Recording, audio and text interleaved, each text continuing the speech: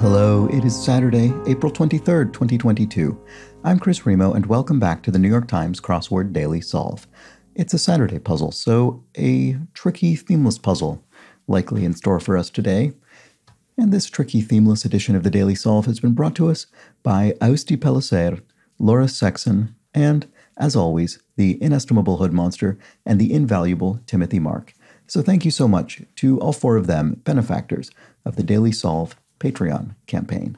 And uh, their generous support is helping keep this channel a sustainable bit of my daily work. So thank you so much to them and to everybody who has backed the Patreon campaign at any tier. I do very much appreciate that.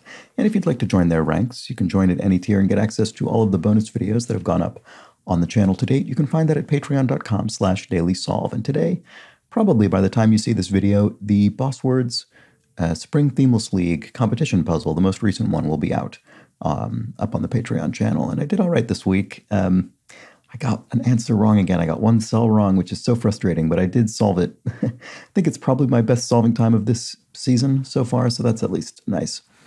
Uh, so yeah, won't, won't be a, one of those big long slogs if you're a if you're a Patreon backer and you're interested in watching that. Um, also, yesterday the Friday weekly mini puzzle speed solve went up, so that's on the Patreon channel as well. And um, oh yes, and you also get access to that extra channel in the Daily Solve Discord chat server if you're a Patreon backer. But of course, anybody can join that Patreon uh, server. Uh, sorry, that Discord server uh, for free. The rest of it. So um, consider that as well. All right, and subscribe to the channel. There we go. I've said it. Now, let's get on to today's um, puzzle, the Saturday puzzle. This is constructed by Matthew Stock. It's done about a dozen New York Times puzzles and it was edited, as always, by Will Shortz. It is a themeless puzzle, as, as noted, our second of two themeless puzzles for the week. So let's get going. Colorful warning. A red alert? No, that doesn't fit. Um, they might smell fishy. I don't know. Could be metaphorical fishiness. Freedom cry for some. Material for a child's necklace. Macaroni, maybe? It's a thing children in, I don't know, sort of arts and crafts class will often make um, various things out of pasta. But I don't know if that's going to work. Oh, actually, this looks right. Palindromic preposition could be ere. So uh, this would be ere meaning before in a poetic sense. Um, comes up quite frequently in the puzzle, actually. So, what about this? Hue made from limonite. Hue. Ochre? Sort of guessing there. Um, I'm not exactly sure what limonite is. Um, obviously, it's some kind of, I would assume, kind of mineral derived material. Uh, what's spread on a spreadsheet? Data? You could have a data spread and a baseball team announcement. I don't know, moving, I'm not sure. Colorful warning. Go. No, go or no. They might smell fishy. Step in could be to enter a room, for instance. Game with baskets. Basketball's the obvious one, but it won't be the answer because we're already using basket in the clue. Um, sort of has baskets, but doesn't doesn't fit. Colorful warning. What is this? And what about this? They've got their own problems. Oh, math tests has math problems. And we don't have the question mark indicating pun or wordplay here because there's not because this is completely uh, you can this works completely normally without needing to um, indulge in any punnery. Okay, where to get down and dirty? A mud something? Does that work at all here? Plus something, Spain's national motto. Is it plus ultra? Whoops.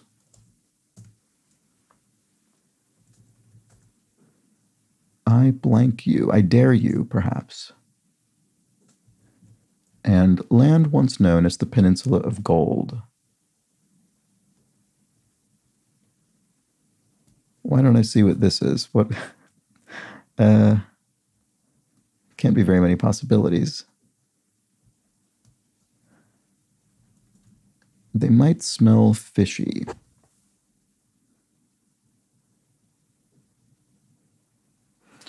Oh, cat cat treats maybe. They could be made out of fish literally. Ah so colorful warning. Oh code red. Okay. I was right with the red in red alert but i should have thought of other uses of red in warnings. Okay. Baseball team announcement. A roster perhaps? They're announcing their team roster. And a game with baskets. Oh disc golf maybe? Does that have baskets you throw the frisbee into a basket? I don't know. Maybe software engineers, software engineers presentation, tech something, tech plan maybe, drove, and then here they can have you going the wrong way. Here we have consolidate. You could merge things, consolidate them. Some advanced degrees, MDs, medical doctor degrees maybe? No. No, that doesn't look right uh, MAs, Master of Arts, MSs, Master of Sciences. A, I guess, would look best with this R. So much could be far. What about this? Orange refreshment. Oh, Fanta, the um, fruit flavored soda. Flexible positions. Asanas are yoga positions, so that could be it. Oh, is this Malaysia? Why didn't I? I thought of that, and then I thought it was the I thought it was too few letters, so I didn't say it. Why did I think that? it's the strangest thing. I just completely I don't know. I don't know what happened there. It's a mental lapse. Departure announcement. Oh, bye. Right, of course. You say bye, goodbye before you depart. So, oh, a mud bath is where you get down and dirty. And then Thea or Rhea are titans in Greek myth. And digital tool, a nano something? Lacks for nothing. Oh, hasn't. No, has it all. There we go. Okay. So this is not nano anything. Digital tool. Oh, digital meaning the digits of your hand, your fingers. So a nail something. A nail clip, a nail file. Peter Pan competitor. Oh, this is a um a uh, peanut butter brand. Jif is a competitor. And block could be block as a verb or a noun. Uh, like a schlemiel, inept. A schlemiel is someone who's clumsy or not, you know, not skilled in Yiddish. And then right on. That's enough out of you. Can it, maybe? Can it? Be quiet. That's enough out of you. And when we have a phrase like this, a slang, well, not slang necessarily, but a, a, a sort of idiomatic phrase or something that you exclaim, uh, you'll generally match the tone in the answer. So the clue in the answer will be of similar tone. So that's enough out of you and can it. Those are both kind of used in the same sort of circumstance. They're a similar level of informality and frustration, I guess. Okay, so thing in Spanish, Actually, not sure. What about this? Oh, right on. I didn't know. Blow up. X uh, something? No, the X doesn't look like it would be plausible there. Aid for a breakfast chef. And bird with a forked tail. Is it, is it a tern? One of the um, one of the classic crossword birds, along with the Erne, E R N E. Gram alternative. Gram alternative. Not sure. Maybe that's not what that is. Pop singer blank max. I don't know. It goes hand to hand. A slap. Joe Joe Carter. So the question mark. There's something punny going on, and I think what this is getting at is that um, Carter is not a name, as it looks like it would be a name, but it's not capitalized. So we almost don't even need the, the question mark because the uncapitalized Carter already tells us we're using this in a different way. So I assume this means someone who takes coffee around or something that takes coffee around. So a coffee, uh, what? Guy, man? I don't know what would fit in three letters. I assume it's coffee. Joe meaning coffee. Turnpike feature would be a toll booth, so a paid highway, paid motorway, and then modern initialism for one skimming text. TLDR, too long, it didn't read. Clodpole. Is that an oaf? Clumsy person?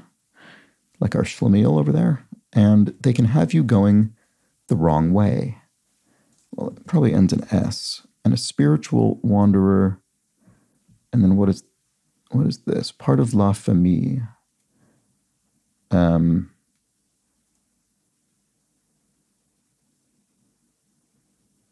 why don't I see what that is? Online speller, seller of specialty crafts, an Etsy something?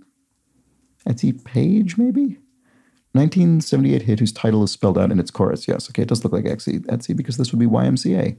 And a Disney title girl, um, Moana, right? That fits. Fixes could be something that ends in an S, and Twitch could be a spasm. So, oh, Etsy shop. There we go. That's much more straightforward. Um, part of some drills. Part of some drills. So it could be drills meaning the power tool, or not doesn't have to be power, it could be a tool, or drills as in routines, that kind of thing. What about this? Kelley of the U.S. women's national soccer team. Unsurprisingly, I don't know the sports clue. Step two in many skincare routines. This will probably be very obvious once I once I see see it. Um, spiritual wanderer. What is that? Oh, head fakes could have you going the wrong way, maybe. And flavor of many Anglo-Indian chutneys.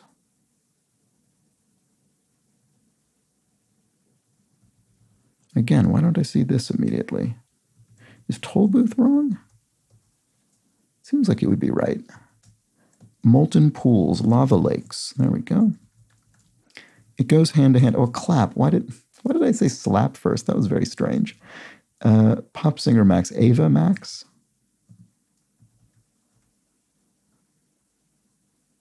I don't know that person. Oh, apple. Apple chutney. There we go. Ah, so this isn't toll booth. Okay.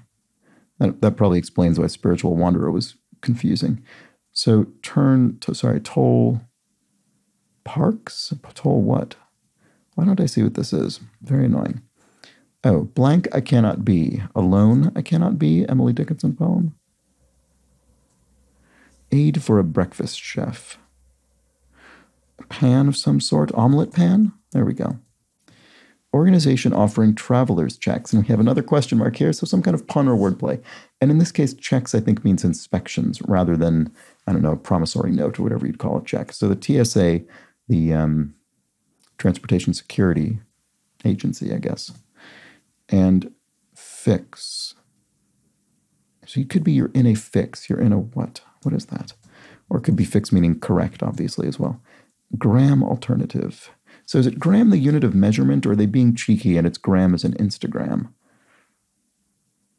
I assume it's the unit of measurement.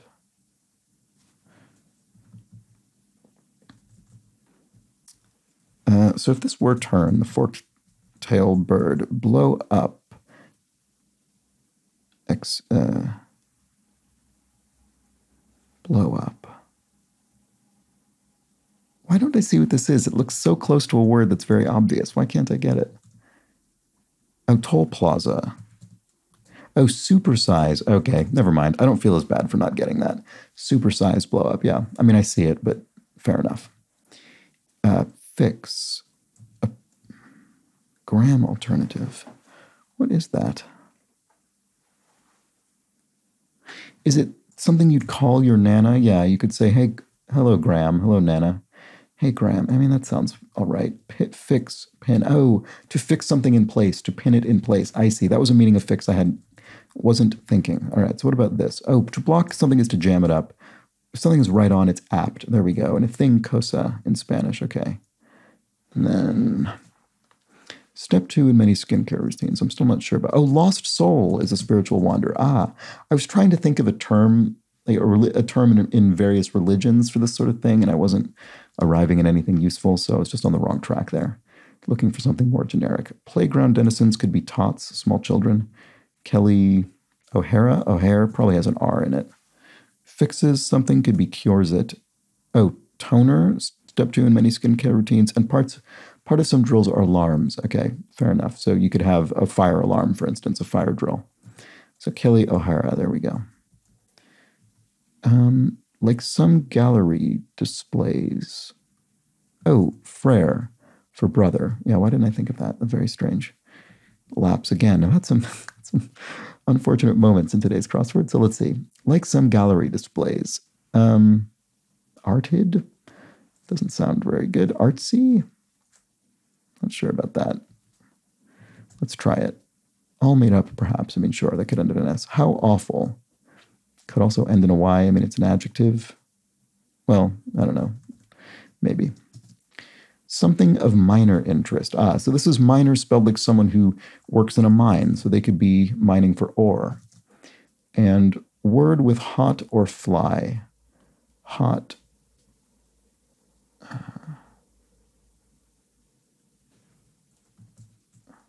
Setting of the first panel in Hieronymus Bosch's The Last Judgment. Setting of the first panel. Uh, I don't know. I can sort of picture what I think this this work is, but I I don't know if I'm thinking of the right thing. I'm sorry. I think I might just be thinking of a sort of pastiche of Hieronymus Bosch in general. Okay, let's see. Have we looked at everything up here? I don't know if we have. I don't actually think so. Rapper with the 2001 hit Superwoman Part 2. Don't know.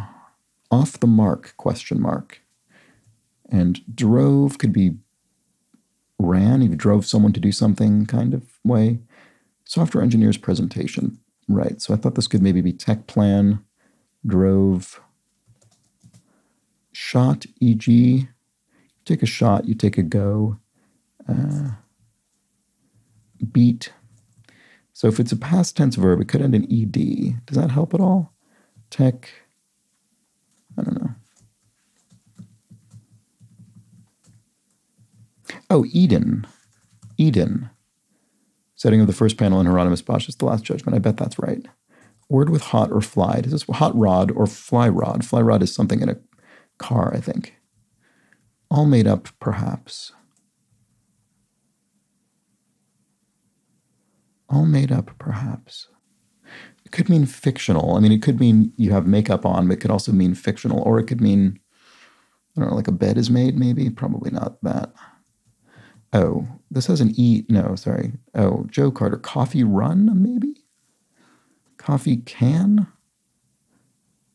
Coffee tin? Coffee urn? I mean, it could be anything. How awful. Oh, I'm so sorry, maybe?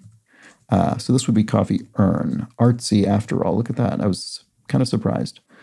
Um, all made up, perhaps. Does this? Oh, something us. So it is. It is uh, an adjective. All made up, perhaps. Software. Oh, tech demo. I should have thought of that earlier as well. Drove. Freedom cry for some. I something maybe beat. Other side. I don't think I saw this clue before. Other side. I'm not sure. Freedom cry for some.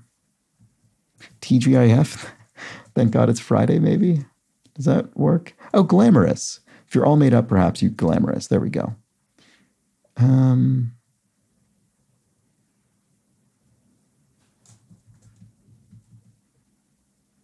I just don't know. Rapper with the 2000. I wish I just recognized these letters in a row here. I guess I just don't know this person probably. Uh, I don't know. We'll have to see. Off the mark. Off the mark. Erase, as in you get rid of the mark on the paper, maybe? Seems a little bit tenuous. Beat. Oh, tired. If you're tired, you're beat. So what was this? Shot, e.g., a dose. Oh. You take a shot, you take a, dose of something, I suppose. Oh no, you're given a shot, like an injection. Okay, that, that makes more sense. That's a dose. Okay, so off the mark. Maybe this is a race. Strange. Oh, if you dro- and if you drove some animals, you led them, for instance. Does that? Oh, so other side could be a foe, your enemy, and then this is Lil Mo, which I don't. Yeah, I don't actually know that. Okay, there it is. So that that was the puzzle. What a night, what a fun, solid, themeless puzzle. Really enjoyed that. And really, I had a lot of trouble up here. I don't think I got particularly stuck anywhere else. I mean, I had areas of resistance, but nothing uh, kind of terminal until up here. Why did I have so much trouble up here? I guess tech demo I thought could be a few different things. Um, didn't really have any good guesses about shot. Certainly, as it turns out, I actually didn't know this rapper at all. Um, off the mark erase. That's what a funny clue. So yeah, I suppose that does mean what I said, which is that you are you're offing, getting rid of a mark, sort of pencil mark. What a what a strange, what a funny clue, but fair enough. Other side, foe. Yeah, wish I'd gotten that earlier. Freedom cry for some. I'm not surprised I didn't get TGIF early on. Thank God it's Friday. Um, drove led. That's good. I mean, this is a very this is a classic example of a Saturday style clue where you have something incredibly vague like drove leading to something incredibly vague like led. When I say vague, I guess what I mean is um, it's ambiguous. Drove could mean it has many different meanings, and each one of those meanings probably has more than one possibility. And so it's very hard to, to jump straight from that. If you were didn't have any crosses on this, it would be hard to get straight from drove to led. But I don't know, maybe maybe some people might. Um, but that's the kind of thing that makes a Saturday puzzle difficult, I find. I think that's uh, intended to be the, the difficult element of a Saturday puzzle. Um, and yeah, so it really was this area that gave me trouble. The rest of it, and then eat this Eden with the uh, Hieronymus Bosch thing. I'm glad I eventually landed on that. Um, and there we have it. I think this was a really good, solid Saturday crossword, and it was Oh, and I actually didn't realize until just, I didn't point out until now because I didn't notice it myself. I didn't look. Um, oh, yeah. So, right. This, this, this um, grid is not radially symmetrical, which is the typical form of symmetry in the New York Times crossword. And by that, I would mean if you rotated it 180 degrees, it would fit, it would, um, the black cells would form the same pattern. But in this case, that, that wouldn't be true. This, this puzzle is um, symmetrical about a diagonal axis. So you can see here, if you folded this grid along this uh, negative diagonal here, the black cells would be disposed in the same positions. And so that's just un- it's just unusual. It's not the most unusual form of symmetry that you'll see in the crossword, but it is less common than radial symmetry. Doesn't mean anything necessarily, especially in a themeless puzzle. Doesn't mean anything, but uh, I had only just noticed it. Anyway, there we have it. There was a Saturday puzzle, a good, a good, I think, classic kind of Saturday themeless by Matthew Stock. Hope you enjoyed it as well. So now let's erect the spoiler wall and move on to some clues from yesterday's puzzle. So what do we have? I think there were several actually. Oh, Joseph Zichterman points out that I missed, there was a clue I missed entirely. It was a tricky clue, apparently.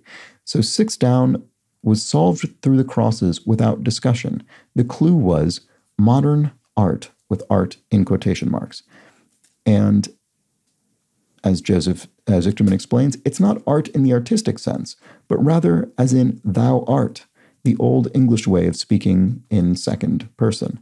The modern, equi- the modern equivalent is you are, and thus modern art is R, the word R, A R E. Very clever. So I, it's true, I missed that entirely. I, I try to catch the crosses that I that I solve um, without seeing their clues. But sometimes I sometimes I, I just don't notice. I just don't.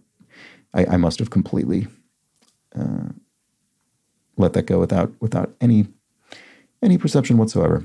Jamie B says, just FYI, for reasons I do not know or understand, the Boston Celtic, well, as I said it, the Boston Celtics basketball team and the shortened version, Celts here, are pronounced with a soft C sound, like Celtics and Celts. So sorry about that. Um, I guess I mispronounced that.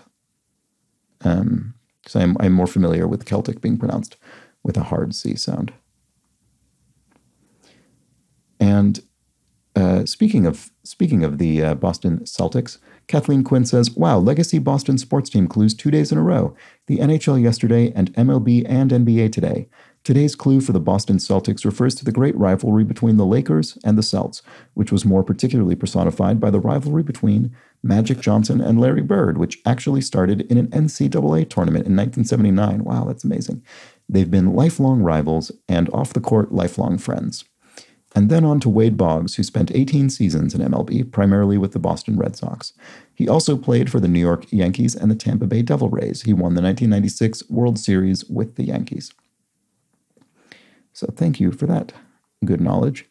And uh, speaking of sports, actually, uh, both Bradley and JS uh, said my suspicion was was correct about uh, how OTs overtimes relate to the concept of regulation. As JS says, the main body of a game is called regulation time and it's followed by overtime. And Bradley says, you'll often hear phrases like, we're tied up here at the end of regulation, so we'll be going into overtime. Makes sense. And finally, Remy explains une couronne is a crown, so definitely a type of headwear, as you guessed. Although in four letters, a couronne could also be placed on your dent, D-E-N-T, your tooth. Very good. And that's that for yesterday's puzzle, which means that's that for today's video. I hope you enjoyed it. Please do subscribe to the channel if so. Um, do appreciate that. We're already halfway from six to 7,000, so that's great. It's going much more quickly than it used to. I guess it sort of thing builds on itself. So thank you to everybody who's subscribed. And I'll be back tomorrow, of course, for the long, leisurely Sunday puzzle, that big grid. Hope you join me then. But until that point, please do have an excellent remainder of your Saturday. Take care.